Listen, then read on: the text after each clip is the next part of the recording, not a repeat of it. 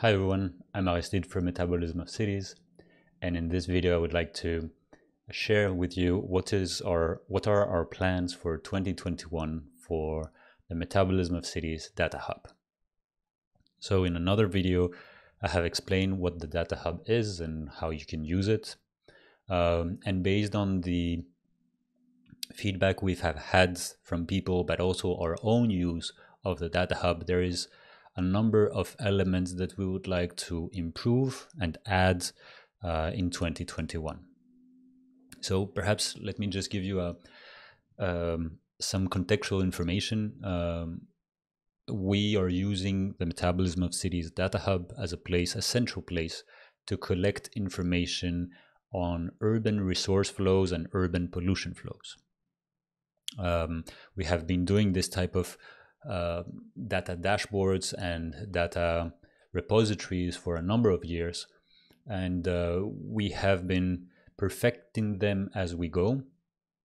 Um, and of course, you know, there is some li limiting factors such as our own uh, time and our own uh, capacity because we, we just don't have su sufficient time to, to go ahead. I also want to mention that this is an open source and, and free um, uh, data repository and data hub. So we're doing this as much as we can on our, on our spare time. Uh, and if it can fit with uh, you know some paid project, that's even better. But in any case, um, we we are building this, and many different updates are coming year after year. So we are extremely happy that now we have a forum and we can directly people can directly contribute as soon as they have a profile. Before we had to active activate them in the back um, and now we can make some very nice visualizations as well in terms of maps in terms of data sets so this is really exciting.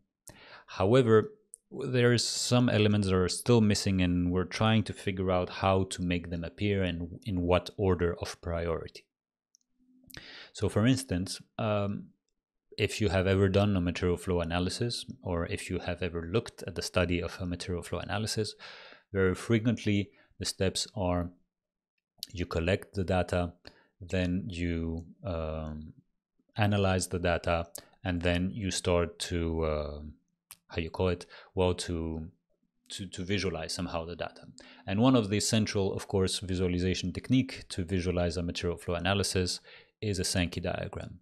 So, so far we have been most of the time collecting the data and then outsourcing the, the information for, well, the, the process of uh, visualizing a, a, Sankey diagram. So you have many free tools that can do that, uh, and we have been using many of them. However, we would like to see how is it possible to streamline this in our uh, in our process. So how can we within the data hub be able to uh, collect the data and then be able to structure it in a way that uh, semi-automatically or automatically does a Sankey diagram. Um, so that is something that we really want to to work on for for 2021. Uh, there are some other things that seem to be like very important. Um, um, for instance, in the in the data collection, uh, perhaps in the future we would like to add like a private uh, mm, component so people can also upload confidential data because so far this whatever you add in the platform is open to anyone and you can only upload to the dat- to, to the platform uh, non-copyrighted datasets. You can always make the link to where you can get a copyrighted dataset but not included if that's available.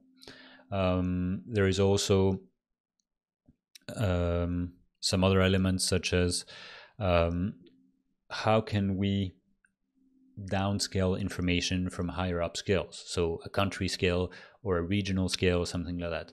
So we know very pertinently that a lot of information exists at higher up scales. So if you take the, the, the country scale there is plenty of information there but at the city scale many times this is missing. And at the country scale you have the irp dataset so the international Res uh, resource panel uh, dataset which is a material flow analysis for all of the countries in the world that go back to I think to the 1970s.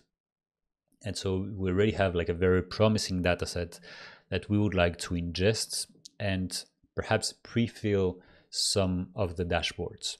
So it means that we know already that you know if you start your your city sometimes it's a bit daunting to start this uh, data collection task because you you're facing with an empty dashboard and you need to start from the from scratch and you don't know where to start uh, to start from and you can't even imagine you know what the end result is.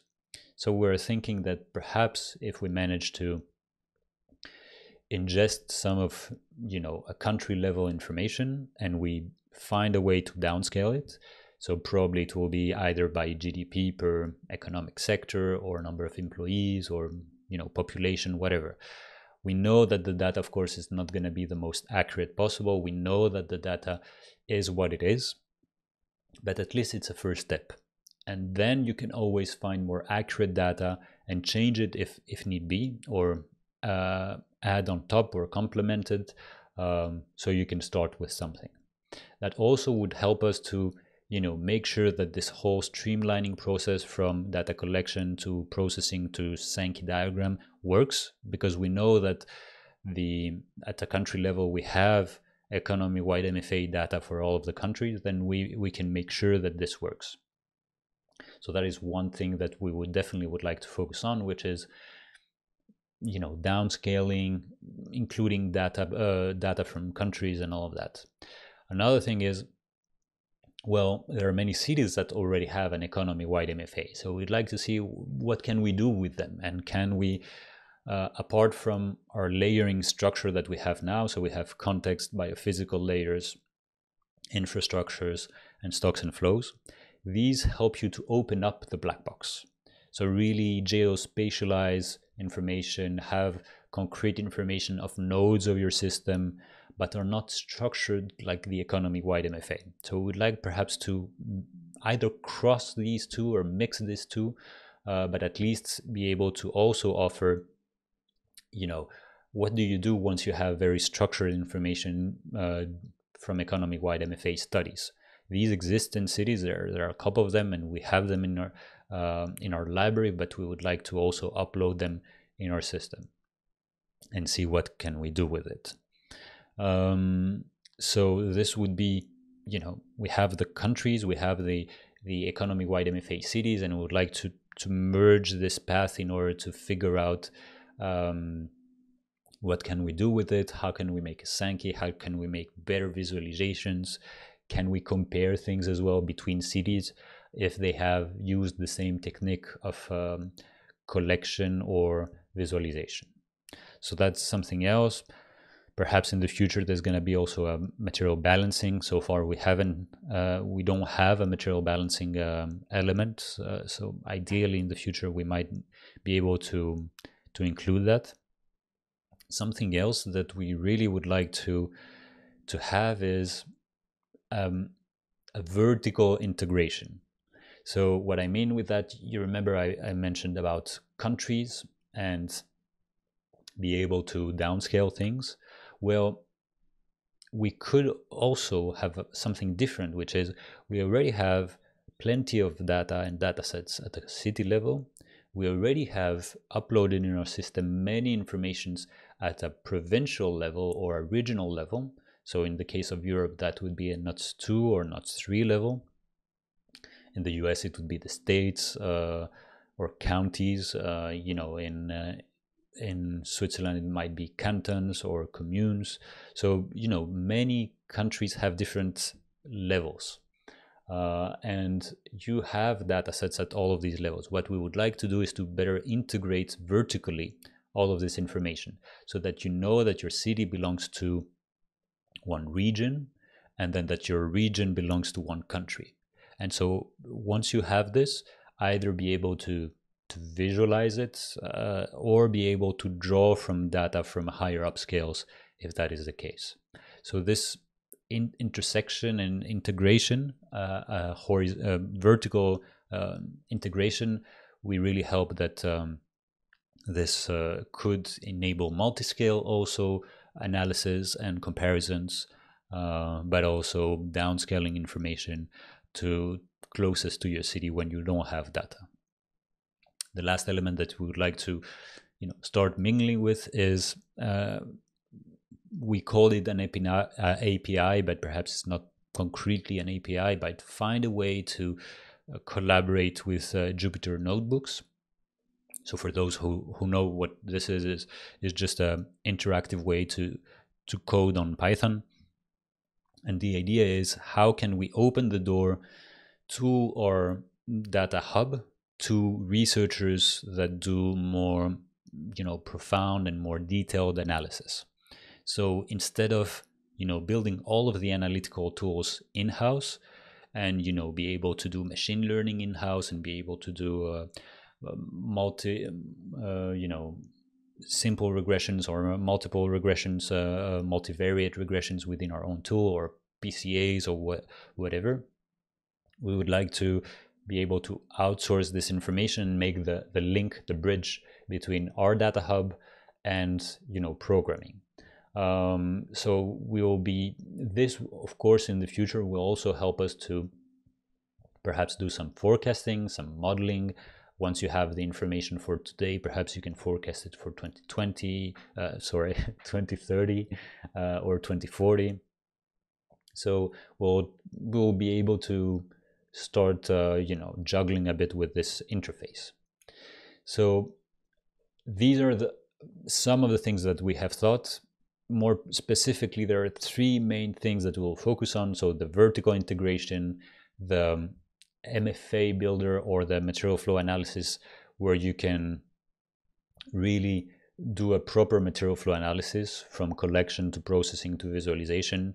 Uh, that also is, you know, the, the Sankey diagram. In the integration, there's also a possibility to have downscaling. Um, and lastly, the API interface between you know our data hub and Jupyter notebooks. So these are the three main uh, you know construction sites that we have for 2021. What we will do is that we will have tasks for all of this. Uh, small tasks, big tasks. There will be programming tasks. There will be data collection tasks. There will be data processing tasks. There will be some coding uh, in Jupyter tasks. So in case this is something relevant for you, uh, or if you have some time, we will be implementing all of these tasks in the Data Hub. So let me just show you here. Over here in our Data Hub, well, this is what you see in, in the very beginning, but we will be implementing many tasks. So if you go to Metabolism of Cities website, we have a, a place where we have all of the tasks that happen. And these tasks can be design, programming, um, information curation, etc., etc. So the idea is that we will be making these tasks and we'll uh, make a link in this video in the description down below to tell you where you can find this information.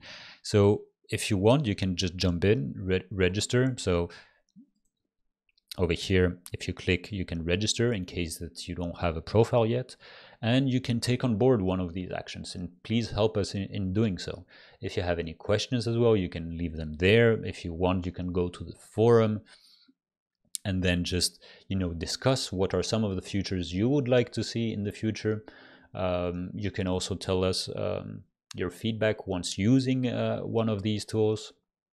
So we're very eager to, of course, we're doing this not only for us, but for, for you, the, the user, the, the, the citizen, the, the policymaker, the, the, perhaps the consultant that is uh, using our tools to, to make a material flow analysis, the researcher, the academic that is teaching this for, for students uh, or for a master student that is seeking for a master thesis and want to use our platform. So really encourage you to have a look what is there, what exists uh, already and how you can help us into building this data hub to, to the next level. So that's it for now, and uh, we'll see you either in the forum or in the data hub. Thanks a lot and see you soon. Cheers.